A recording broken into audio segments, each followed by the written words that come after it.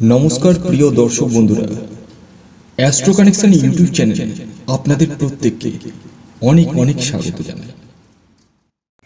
বন্ধুরা, আজ মধ্যরাত থেকে মা তারার আশীর্বাদে এই সাতরাশির জাতক ও জাতিকারা লালে লাল হতে চলেছে। অর্থাৎ আপনাদের জীবনে ধনের জোয়ার বইতে চলেছে।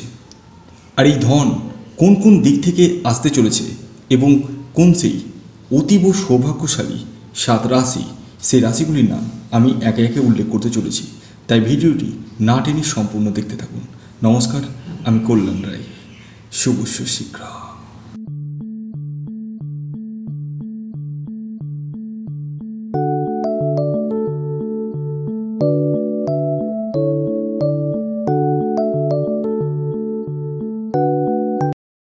আজ মধ্যরাত থেকে মা তারার আশীর্বাদে যে সাতরাশির কথা আমি বলতে চলেছি, সেই সাতরাশির জাতক বা জাতিকা যদি আপনি হন, তাহলে আপনারা লালে লাল হতে চলেছেন। অর্থাৎ অর্থনৈতিক দিক কিন্তু আপনাদের যথেষ্ট পরিমাণে ডেভেলপমেন্ট করতে চলেছে। এছাড়াও আপনাদের নতুন নতুন সুযোগ আসতে চলেছে এবং দাম্পত্য জীবনেও সুখ পেতে চলেছে তো কোন সেই সাত সৌভাগ্যশালী রাশি, সেই রাশিগুলির নাম জানতে ভিডিওটি সম্পূর্ণ দেখতে থাকুন। তার আগে যারা অনলাইন আমার কাছে কনসাল্ট করতে চান, অর্থাৎ জন্মছক বিচার করাতে চান, তারা স্ক্রিনে দেওয়া হোয়াটসঅ্যাপ নম্বরে বুকিং করতে পারেন।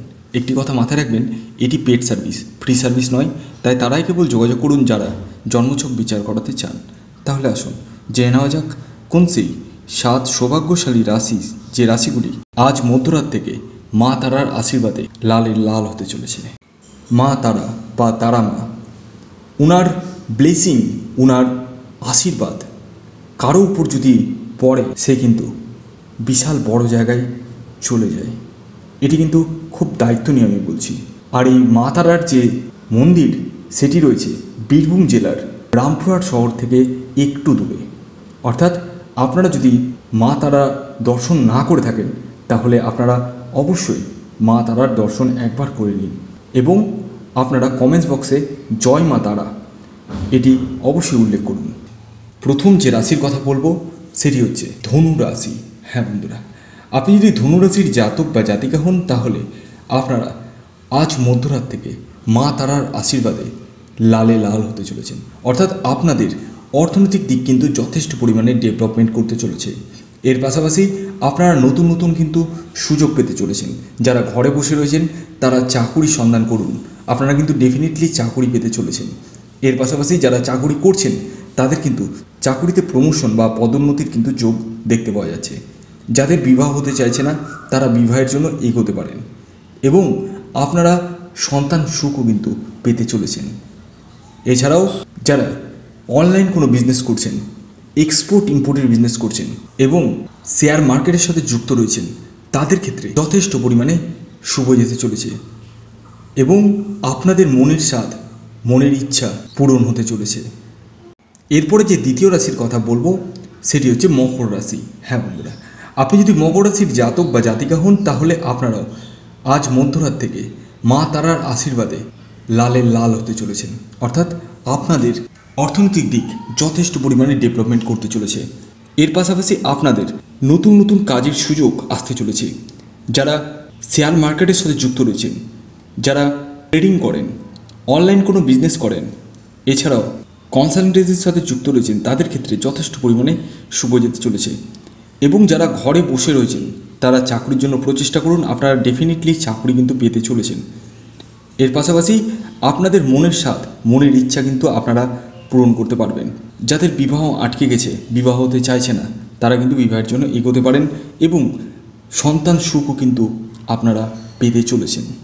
এরপরে তিন নম্বর যে রাশির কথা বলব, সেটি হচ্ছে মিথুন রাশি। হ্যাঁ বন্ধুরা আপনি যদি মিথুন রাশির জাতক বা জাতিকা হন, তাহলে আপনারা আজ মধ্যরাত থেকে মা তারার আশীর্বাদে লালে লাল হতে চলেছেন।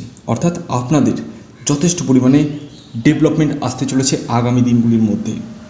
এই সময় যারা অনলাইন কোনো বিজনেস করছেন, চাকুরি করছেন, এছাড়াও সেলফ প্রফেশনে রয়েছেন, এই তিন ক্ষেত্র থেকে যথেষ্ট পরিমাণে অর্থ আসার সম্ভাবনা রয়েছে। যাদের বিবাহ আটকে গেছে, বিবাহ হতে চাইছে না, সন্তান আসতে চাইছে না, তাদের কিন্তু বিবাহ এবং সন্তান দুটোই কিন্তু হওয়ার সম্ভাবনা দেখতে পাওয়া যাচ্ছে। এরপরে যে চার নম্বর রাশির কথা বলব, সেটি হচ্ছে বৃষ রাশি। হ্যাঁ বন্ধুরা, আপনি যদি বৃষ রাশির জাতক বা জাতিকা হন, তাহলে আপনারাও আজ মধ্যরাত থেকে মা তারার আশীর্বাদে লালের লাল হতে চলেছেন। অর্থাৎ আপনাদের ধনের জোয়ার কিন্তু বইতে চলেছে। এর পাশাপাশি আপনাদের নতুন নতুন কাজের সুযোগ আসতে চলেছে।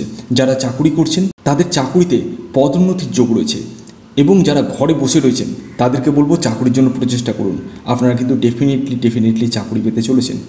এর পাশাপাশি যাদের বিবাহ হতে চাইছে না, বিবাহে বাধা আসছে, তারা কিন্তু বিবাহের জন্য এগোতে পারেন।